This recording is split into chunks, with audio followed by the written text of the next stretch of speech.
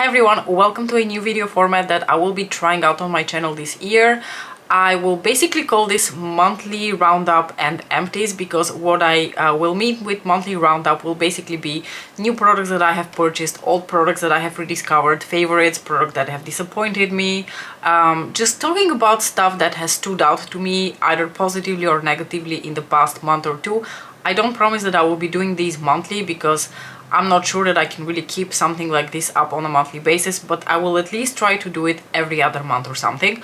Uh, and if you're very lucky, maybe I actually end up doing it every month, who knows. And then an old new section of this video will be empties. I used to do empties on my channel a lot in the very beginning of my channel, back in like 2014, 15, 16. And then at some point I realized that I have no interest in filming this video, you have no interest in watching them so I kind of stopped doing them. So I will start to revisit that part of my channel a little bit but in this new format where I will just throw them in together with my monthly roundup and I think what will end up happening with the empties is that you're mostly going to see uh, skincare empties because I don't go through makeup that quickly in order to have a lot of makeup empties to share with you. Maybe like once or twice a year there will be a interesting makeup empty to share with you but for the most part I think it will be uh, skincare. Now the way I'm going to go through this is basically a little bit in the uh, sequence of events of how I apply my makeup so I'm first going to be talking about a product that is not really new to my collection and I purchased already quite a while ago but I sort of rediscovered in the past month or so and that is my uh, Bendy Avocado Concealer from First Aid Beauty. This was a concealer that was recommended to me by Melissa Gold here on YouTube who has started posting videos again which is very exciting. I love Melissa, go check her out. I will leave a link to her video in the description box below and Melissa and I are, um, I think she's a bit younger than me, but let's say we're in the same phase of our lives. We have children, uh, we have a job, uh, our skin has started to age and especially our under eyes are very dehydrated and quite dry. And I am always on the lookout for a concealer that is not going to look like the Sahara Desert underneath my eyes because about 99.95% of the concealers that I have tried do that. So I am always very conservative when it comes to concealer. I used to always use the um, Selma Skin Concealer from Skin Food. Yes, it's a Korean brand and um, it's like a pot concealer. It has a very uh, peachy, orangey undertone to it, so it conceals, I think, blue circles like blue-purple uh, underbags quite well. I don't have that concealer to show you anymore because I passed it on to someone as I was getting quite, you know, bored with it. So I had to stop filming because my camera gave a message that it was overheating a little bit uh, and I'm not exactly sure where I was. I was rambling about concealer because I wanted to let you know that um, I have rediscovered the Bendy Avocado Concealer from First Aid Beauty. Now I have a haul of two concealers in my collection. Uh, this one in two different shades because I bought the originally the shade 03 light which turned out to be way too dark. Let me just quickly show you. So this is the shade uh, 03 it's a nice shade but it is way too deep for me to be considered light and it is even I think too deep for me as a foundation shade. Uh, so I think I will keep this in my collection too because at some point in my life I am going to go back to the beach get a tan and I will need deeper shades of concealer and foundation. So hopefully this will come in handy even this summer fingers crossed. And the uh, shade that I purchased after that was this one. This is the shade 02 Light. No, sorry, this is the shade 02 Fair. And this is a perfect shade for me to use as a concealer. So um, I purchased this concealer, but then I still had my Clarins Instant Concealer in my collection. And I kind of thought, you know what, I've been using that Clarins concealer for a really long time. And I feel like it's probably uh, getting to the point now where it will be finished and I kept using it and using it and using it and it just wasn't finishing up and eventually I decided in the beginning of this year, you know, I'm just going to swap between the two because I remember really liking the formula of this and I still really do. It's a very hydrating formula. I don't know whether you're going to be a huge fan of this formula if you don't struggle with dry under eyes. I also can't vouch for how high coverage this is because I apply my concealers very very lightly. I hate to pile up foundation and concealer on my face because I feel like it always looks very cakey.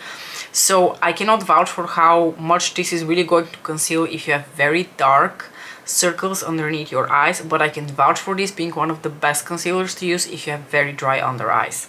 Another sort of rediscovering my collection is my uh, Estee Lauder Double Wear Nude Foundation. So this foundation has been discontinued uh, and I wasn't even aware of this until a couple of months ago and luckily I have already found a substitute like a dew for this foundation but that's not the point. I kind of rediscovered this foundation in the last couple of months because uh, last year I was kind of more focused on finishing up my Dior Backstage foundation. And I think my Dior Backstage foundation is like somewhere up down to here. But this foundation is somewhat deeper in tone for me to use in the winter. So in the winter I always go back to my other foundations. And this year I decided to go back to the Estee Lauder Double Wear Nude. And oh my god I I still just really really enjoy the formula of this foundation. It's a very um, light coverage, very uh, liquidy type of formula, but it looks very illuminating, very hydrating on the skin. Uh, compared to the one from Dior, I find this to be just a tad more um, luminous on the skin. Not luminous in like oily or very dewy, but it is a bit more dewy than the Dior foundation. The Dior foundation settles more into like a natural satin matte finish, whereas this one is really more of like a light dewy finish such a gorgeous formula. I really love this foundation and i would like to finish this product up because i've had it for the past two years. So i kind of decided to focus on it again and i've really been enjoying it. Another product that i have had in my collection for a while but i wasn't really using very consistently because i was trying to pan um, another product um, in this category. I don't know why i'm so weird about okay um, i cannot use something even if i have it in my collection and i don't have to purchase it. I cannot use it unless i have finished something else. It's a really stupid way of thinking thinking because it basically means that some of the products in your collection are sitting for years and years and years unused because it takes you years or it takes me anyway years to uh, pan especially like complexion products foundation concealer powder it takes me years to go through these so I don't know why I'm being so silly about it and I've really been trying to be better about it this year by just um, rotating a little bit more consistently through all the products that I have in a certain category, like foundations, concealers, and powders. So the powder that I've sort of rediscovered um, and not really rediscovered. I already knew that this is a formula that I really, really enjoy, and uh, the formula in question is the ambient lighting powders from Hourglass. Now, the powder that I finished panned completely was the Hourglass uh, ambient lighting powder in the shade Moodlight. Moodlight has that very light lavender tone to it which is supposed to like brighten up your complexion and whatever. Beautiful formula, the color never really bothered me but every now and then I would notice that my face looks a little bit more pink than I would like to. So um, I want to say already in March 2020 I purchased a mini of dim light because dim light seems like a much more appropriate color for someone of my skin tone. It's much more you know beige neutral toned and um, the promise of the same kind of formula was what lured me in to purchase this mini. Now like I said I delusionally thought that in a couple of months I'll be done with Mood Light and I can switch to this one. It took me until the end of 2021 to finish Moodlight but in the meantime, I had only used this powder a couple of times and since I finished Moodlight and I've been rotating through my powders a bit more, now that I'm rotating through all the powders in my collection, I can confidently say that I still think that the ambient lighting powder formula is my favorite finishing powder formula and I really love this color. So if I ever go through the other finishing powders that I have in my collection, so in about a decade, more or less give or take, um, I will, and I finished this one, I will be allowed to buy a full size of this because it is my favorite finishing powder without a doubt. I have tried others and others work really well as well and the thing I like the most about this specific powder is that it doesn't mattify my skin too much. Like some of the more blurring powders that I have in my collection, like the uh, setting powder, the loose setting powder from Pat McGrath. That powder blurs your pores like no other. It makes your skin basically look filtered but also leaves my skin looking a little bit more dry. It's not really a problem because over the course of the day my oils peek through and you know everything just kind of starts to look more dewy anyway but I just like the, the, the finish of this one off the get-go more than the one from Pat McGrath. Now I'm going to mention a couple of products that are fairly new to my collection and I recently spoke about in a little like mini haul and try on. Uh, the first one is the diffused light, the diffused light, no, the diffused bronzed light also from Hourglass and also in a mini. So in the end of 2021, I did a declutter uh, of my makeup collection and I decluttered a couple of bronzers. And upon decluttering my Too Faced Ch Chocolate Soleil bronzer, there was a real gap in my collection for a more neutral toned, almost more cool toned bronzer and I searched high and low to see what people would recommend and I came across this specific powder and luckily Hourglass is smart enough to offer these powders in a mini format because oh my gosh I would never have gone through a full size of that bronzer but I am super happy that I purchased this bronzer because it is it fits perfectly into that gap that I had in my collection and my need for a bronzer now has been satisfied. It has the perfect finish because it looks much more natural, much more illuminating in a way compared to the Too Faced one, which was very, very matte and the reason why I decluttered it. And it has the perfect undertone. It is exactly that neutral, slightly cool leaning undertone, but without being too um, cool toned. And the thing about it is that it looks super light in the pan and when I first swatched it, I thought this is never going to show up on my face. No fucking way. But then you start applying it and it first applies very subtly and then you build it up and it actually builds up to quite the deep intensity. So um, yeah it's quite impressive really what this powder can do. So i'm super happy with my purchase to the point where a couple of days ago when i received an email that victoria beckham beauty had restocked all the shades of her bronzer which was something that i had on my wish list i kind of decided that I don't really need that bronzer for the time being. I'm still very curious about her brand um, and I still think the bronzer is one of the few products that I'm really really uh, excited to try but I sort of fed the beast now and I don't really feel the need to buy another bronzer in the coming few months, especially because I'm sort of low-key hoping that Mother Pat McGrath is going to treat us with a bronzer release this spring, so I'm kind of going to wait it out and see what happens. And I'm going to chill and maybe at some point if Victoria Beckham Beauty or Cult Beauty restocking these bronzers does a 20% off sale or something like that, I might pick up these bronzers because I'm just super curious about the brand. But for the time being, I've decided to take a chill pill and I'm not going to go for that bronzer two other products that I purchased recently so I haven't had the chance to use them that long but I can already tell you that I really enjoy are my two uh, melting powder blushes that I purchased from Suqqu about one and a half week ago. So the two colors that I purchased are the shades 05 and 08 let me quickly show them to you. So this is the shade 05 this is the shade 08 um, I am just head over heels in love with the texture and the formula on these. This is the most silky, lightweight, natural looking, pleasant on the skin, kind of like smoothing um, cream to powder formula. These are not powders, these are definitely a very lightweight cream to powder and they are exquisite in terms of their formula and what I find with the range of the colors that they have released for this uh, specific release the melting the melting powder blushes. The all the colors are just so incredibly beautiful so flattering so mm, such good colors. I had a really hard time limiting myself to only two colors and um, I'm very happy with both colors that I purchased but I will uh, give you a heads up. The color I'm sorry it's very very sunny outside so I have a lot of um, glare coming in from outside uh, but the color that really stands out to me is, is, the shade 05 because I have really nothing like it in my collection. It's a very... Um, how do I describe this color? It's a very unoffensive orange, like a almost like a nude orange brown. I don't know how else to describe it. It looks really flattering. I'm really in love with this color. You're going to hear a lot about it in the coming months and you're going to see it demoed in my videos very often.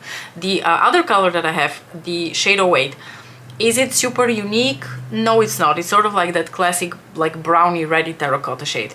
But with that said, it still stands on its own feet even when you compare it to other blushes uh, with similar colors from other brands because what I find with similar colors from other brands is, is that they tend to lean much more pink and like bronzy pink whereas this one leans really more into the orange brown you know um, undertones and this is where my personal preference lies so I really enjoy this blush.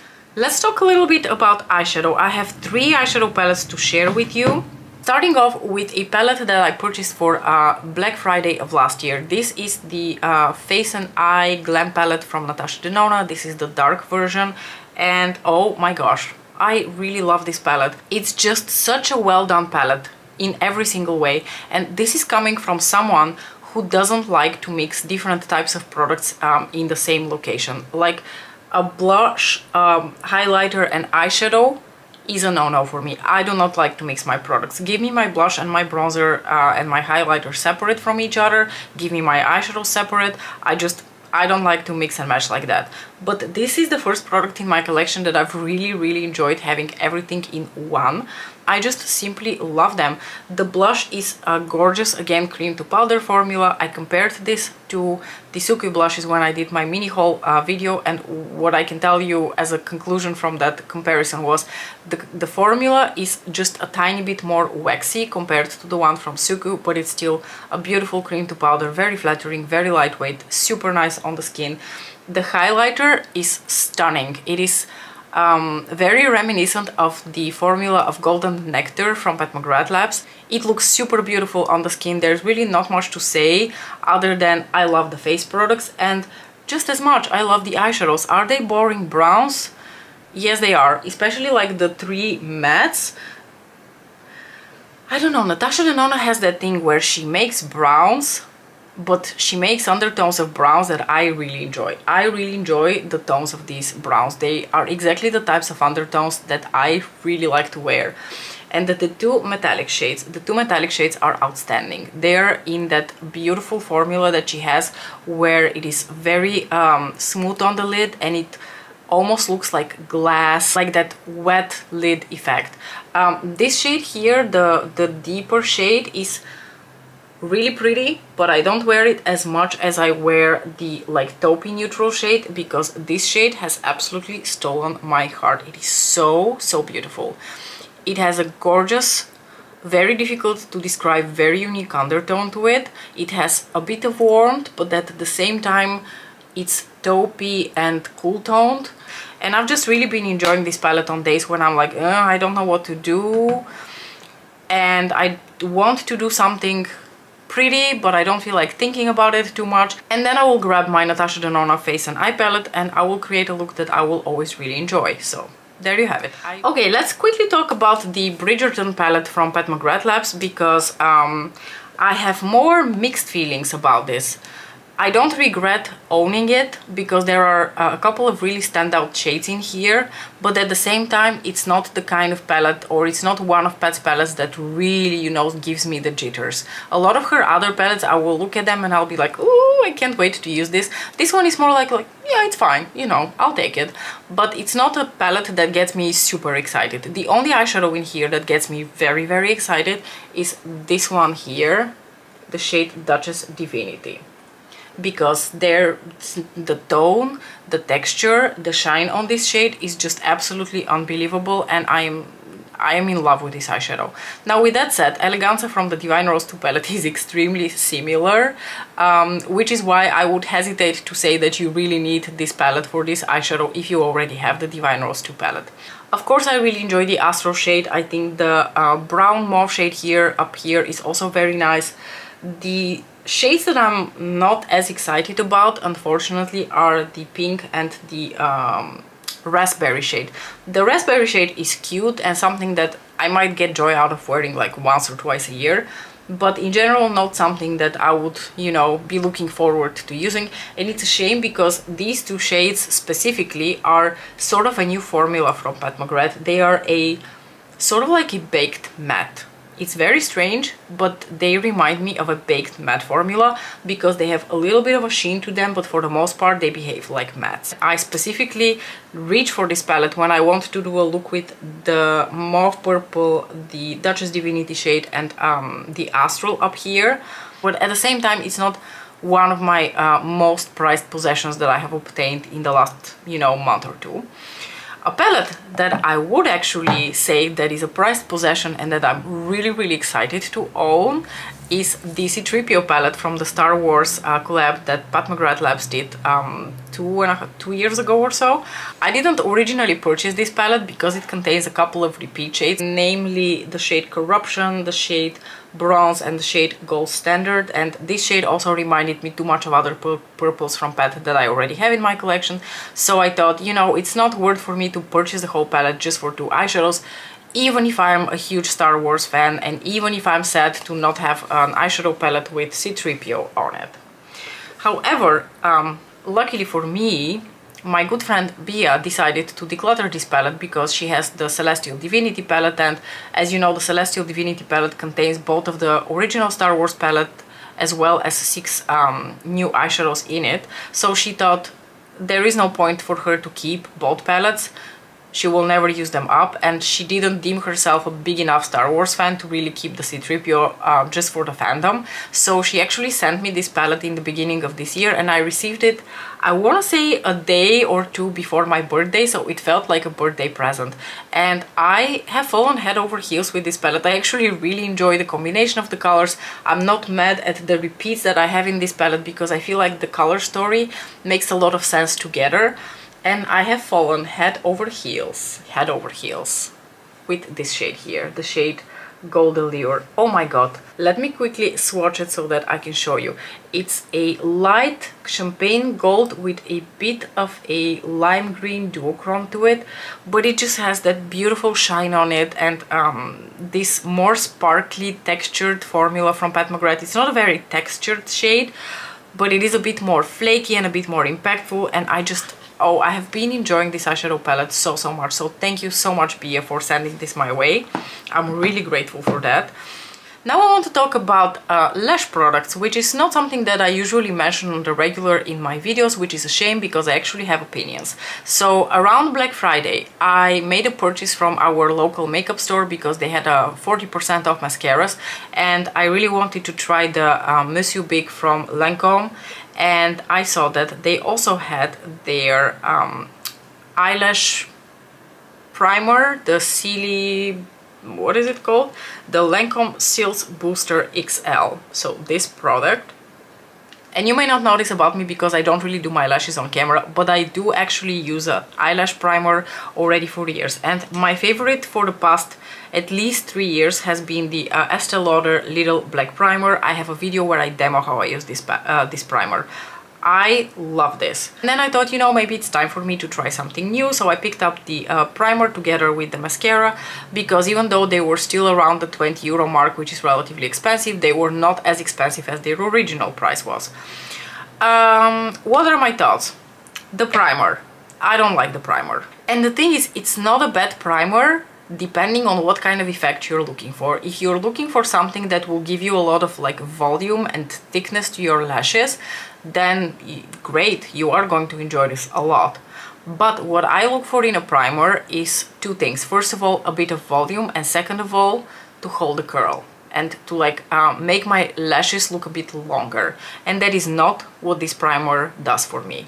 Um, I have like thick relatively straightish like not like cow straight but like not also super curled lashes I have a bit well actually you can see the curl of my lashes right now because this shit doesn't hold the curl at all no matter what I do. If I wait a little bit, if I wait a lot, it just does not hold a curl. Even if your lashes are already completely dried, you know, they have the curl, they hold the curl, you go in with the mascara and then the mascara kind of wets the primer and your lashes go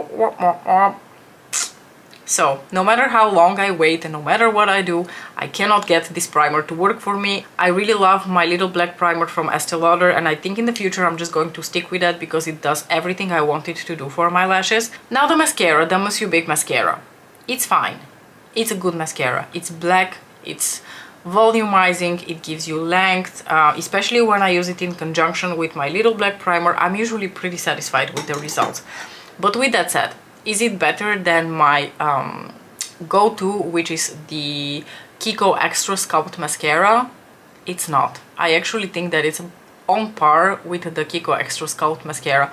Maybe the Kiko Extra Sculpt Mascara is just not as black as this one, but it does everything else just as well for how much less?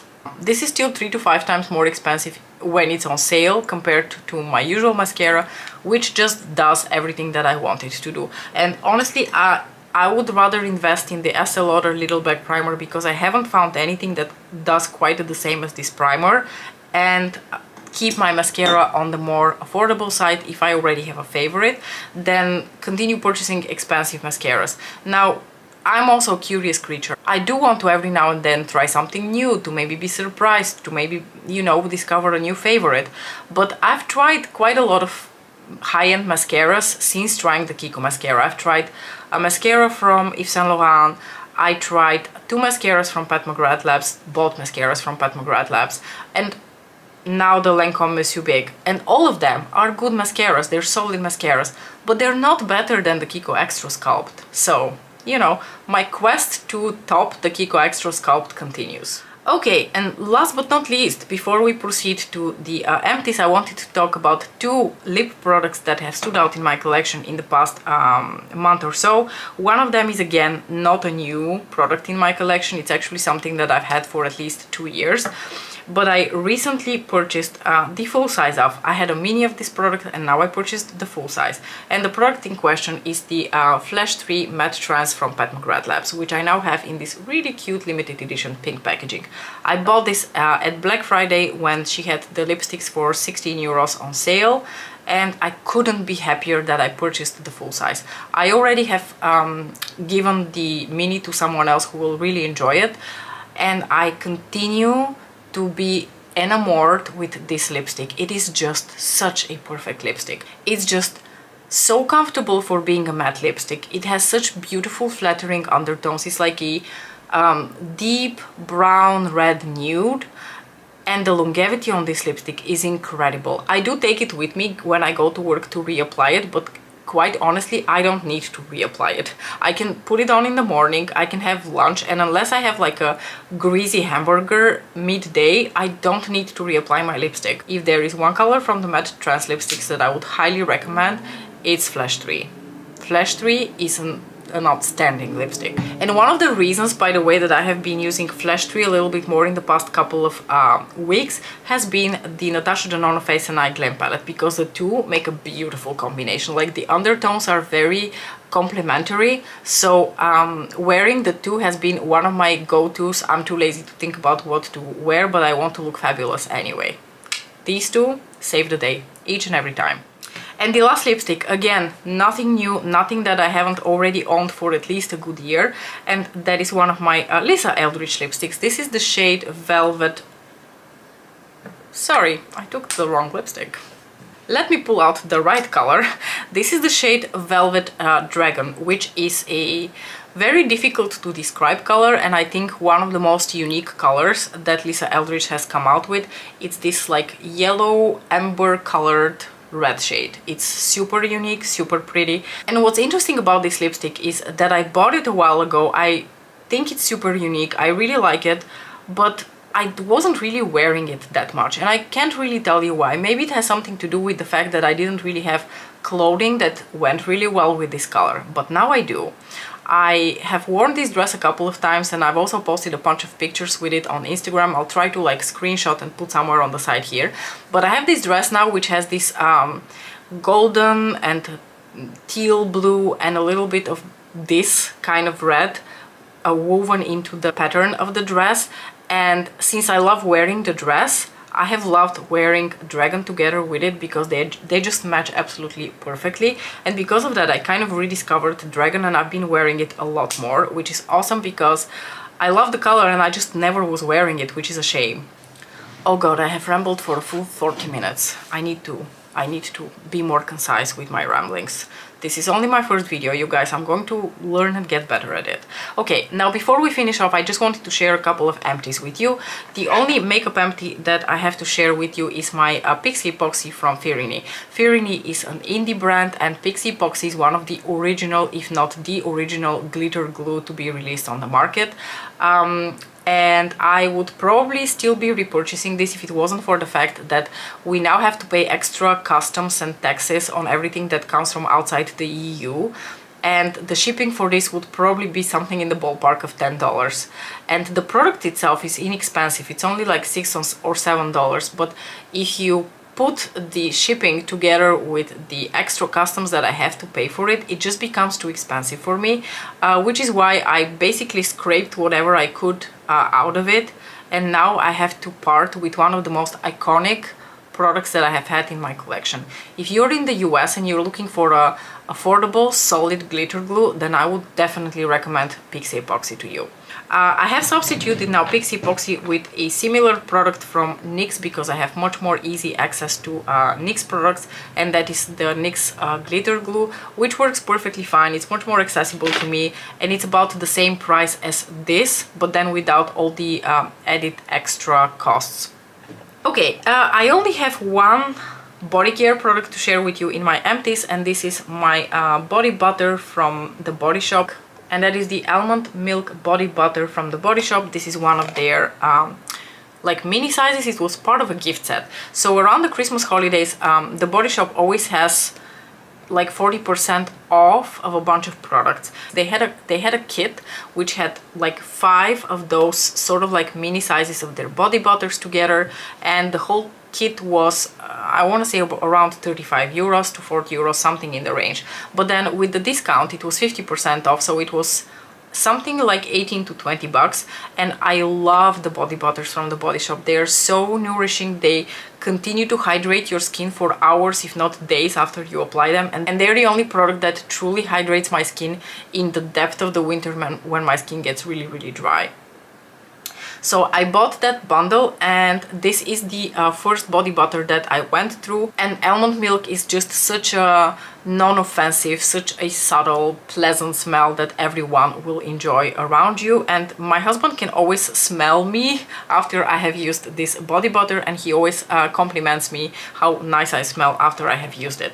And I have to tell you, I'm actually enjoying the whole concept of like the minis because in the past I've always bought like the big tubs and it would take me ages to go through them and by the end I would be making myself to go through them because I've gotten a bit bored with the scent. So I'm a huge fan of these like small smaller sizes that you can go through a bit more quickly and then jump to the next one and try a different scent. Sorry, I'm basically a toddler. I have the attention span of a goldfish. I have three skincare products to share with you and they are all from Paula's Choice because 99.99% um, of my skincare consists of Paula's Choice and whatever isn't Paula's Choice is Foreo. So the first product I want to share with you is my Paula's Choice Ultra Rich moisturizer with coconut oil and shea butter which is meant to be used for very dry skin. I just finished this after being at it for at least two years. Uh, and of course I this wasn't the primary moisturizer that I was using. I was rotating between this and other ones in my collection. I really really love this moisturizer especially if you're suffering from extremely dry skin. I discovered this moisturizer when I was pregnant and um, midway through my pregnancy I um, had my usual hay fever symptoms but aside from the usual runny nose and itchy eyes I got an extra added bonus of these horrible like eczema-like red spots on my face only on my face that were itchy and dry AF nothing else in my skincare uh, routine at the time could salvage my skin so I went on the Paula's Choice website and I purchased this moisturizer which I had been afraid to do up till that point because I have more like normal to oily skin and this is meant for people with very very dry skin. So I always thought no this is going to be too heavy for my skin. I'm not going to enjoy it. Leave it. But then I tried it. I fell absolutely in love with it. And it also taught me the lesson that if you have oily skin you should not steer clear of the very moisturizing uh, products because they might actually help your skin to become less oily if that makes any sense to you. The next product that I penned is one that is a staple in my collection and that is the 2% BHA liquid exfoliant. I've gone through several of these. I already have a new one open. This is a staple for me because BHA is the exfoliant made for uh, people with my skin type. I have large pores, I have a lot of blackheads, um, I used to have more acne, now not anymore, thanks to Paula's Choice. It's very lightweight, it doesn't irritate the skin. I don't use it every day, I use it every other day. Something like this is really indispensable for my skincare routine and I have absolutely noticed that using this has um, cleared up my pores, it has made them smaller and I have a lot less um, issues with acne breakouts or like pimples ever. I don't have, I basically don't have pimples. I, if I have a pimple nowadays, I'm shocked. And the last empty is my Paula's Choice Pore Clarifying Charcoal Gel Mask. This is another staple. I basically use this as the ultimate, you know, pore clarifying product in my routine. I uh, use it only once a week in the weekends and I really really enjoy it so there's really not much more to say about it other than I already have a new one uh, that is open in my current skincare rotation and I will probably continue purchasing it because I've really been happy with the results. Whew, I feel like we talked for a really long time about a bunch of products and I'm really hoping that you are enjoying this um, new type of format on my channel. I'm sorry if this video turned out very very long but on the other hand you know me if you didn't think this was going to be a rambly video it's kind of your fault that you didn't take a cup of coffee and a snack. Anyways thank you so much for watching let me know what your general thoughts are about the video about the products that I mentioned about your you know monthly favorites and um, fails and we shall see each other again in my next video. Bye!